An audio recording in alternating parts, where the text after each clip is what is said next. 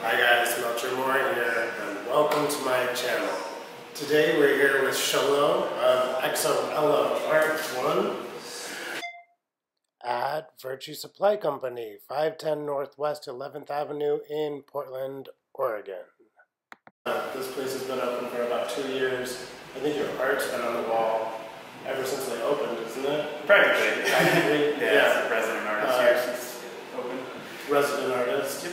So your artwork, it's very. This is a new line that you sort of uh, produced. What, what do you call it here? Oh, it's the Predator Animal Series, so I tried to do uh, kind of just juxtaposition on uh, the colorful palette that I use and try to portray more of like a, a serious uh, animal figure through all the artwork. As you can tell, the handbags canvases that I've made recently. Yeah, well, they're very cool. The um, the thing that like caught my uh, eye with your artwork is that it's actually it's glow in the dark, is it? Uh, it's fluorescent, so Fluorescent? it's, U, it's UV reactive. Yeah. I wonder if we can get this. Maybe we'll shoot in like a, edit in a picture or two of these. This one's the lion, and then one you've got the lioness or the tiger. The tiger, yeah. Yeah, these are great.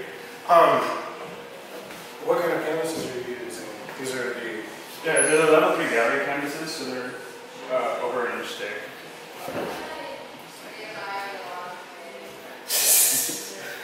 technical. And then um, you just with this new sort of product line with your Predator line, you came up with you, you just started doing bags. Yeah, so I decided to start doing some leather, uh, vegan leather handbags, uh, and from there it kind of transformed into backpacks uh, since I found some uh, some similar ones that uh, people were really interested in. Kind of given the idea of like trying not to use actual leather because of the animals that I'm using as well, trying to like bring more of a conscious uh, mindset to them.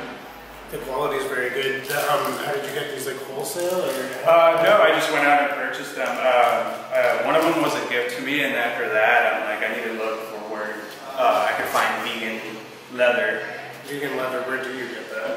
Um, actually, I bought them online. Uh, Kathy Ireland is one of them. Kathy Al- Ireland. Yep. And uh, Aldo is another one. Uh, the Aldo one we get at the store. Uh, yeah, like I said, it's just kind of kind of tough to try to find the perfect vegan leather, and it is a little harder to work with, uh, just because of the flexibility on it is a little more flexible than uh, the rigid leather, and so paint tends to crack on it. So I finally figured a way to keep it so it lasts on there rather than like the cracking from normal paint. Are you creating your own mixture here? Uh, yeah, yeah. So it's it's Angelus paint, which is made for leather, and then um, it's sealed with acrylic sealer, and then layered. So then when it mixes in together, it's actually been done over like five times. So when it does end up scratching, you have a layer underneath. Excellent. Well, these are beautiful. And he signs all of them. Xolo. Xolo. Like the hairless dog. Yep, the hairless Mexican dog. Yeah.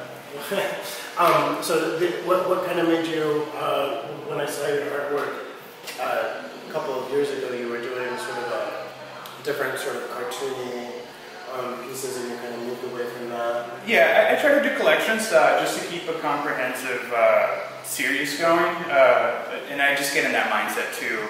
Like when I think when we met, we had uh, I had the um, what was it, Pinocchio.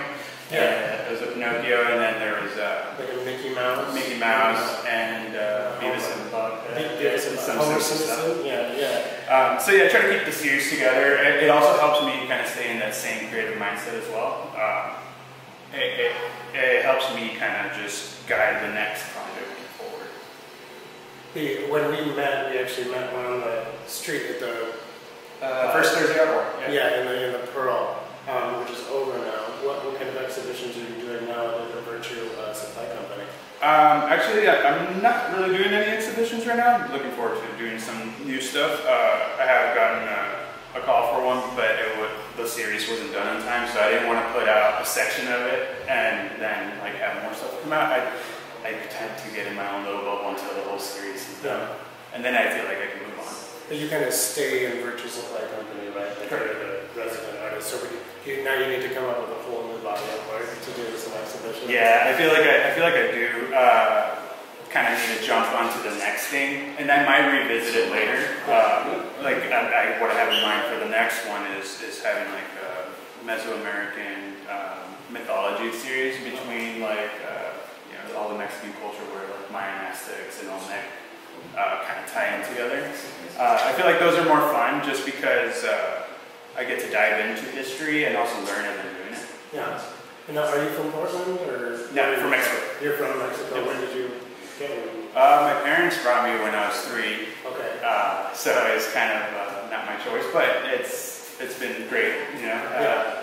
still have my, my roots in, in Colima, Mexico, which is uh, about two hours from Guadalajara. Okay.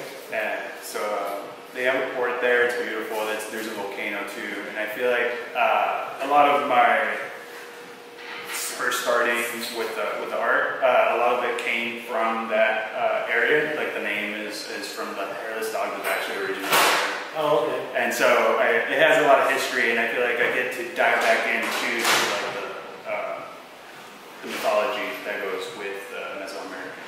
And how did you learn how to sort of paint create artwork? Is it just something you explored with? Or? I've done it all my life. I've never had an actual uh, cohesive piece that I can say is my style.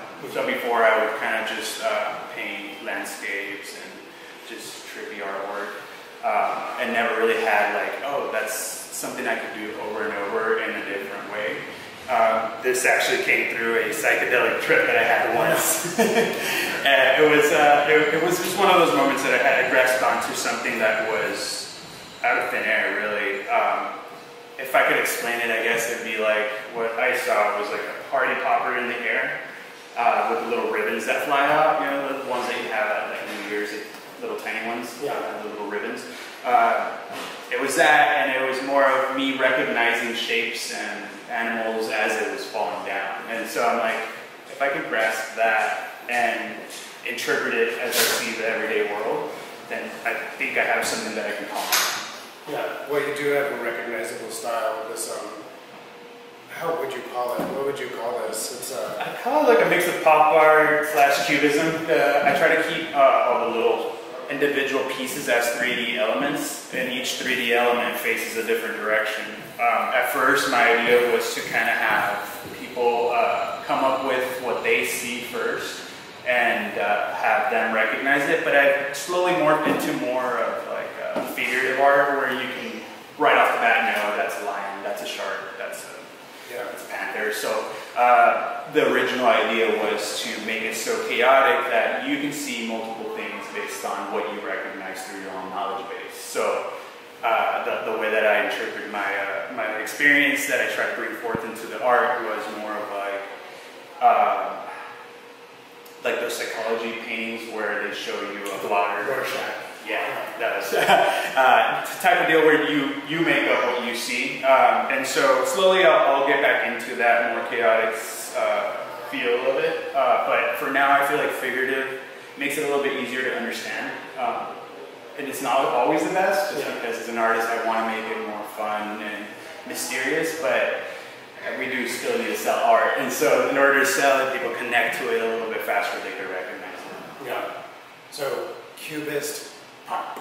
It pop, pop cubism. so I like that figurative figurative eye. but well, this is great, Luis. So um, good luck with the. I don't know if it's called an exhibition. If you're, I get good, good luck with The residency? residency. We've got like these little uh, candles here. Um, you know, uh, art is a luxury, so sometimes people can't afford to get Exactly. pieces, But he's got everything: bags, purses, candles. Um, stop in. Uh, what do we say? Virtue. Purchase supply company. Uh, at 510 Northwest 11. No, that's 11. Well, thanks, Louise. Thank you. Hi. Hi guys, I hope you liked this video. If you guys like this type of content, don't forget to subscribe and like.